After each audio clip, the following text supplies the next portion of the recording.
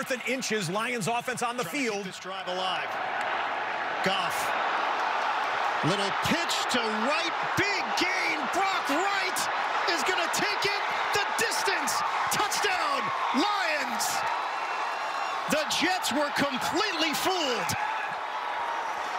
And the Lions regain the lead. 51 yards.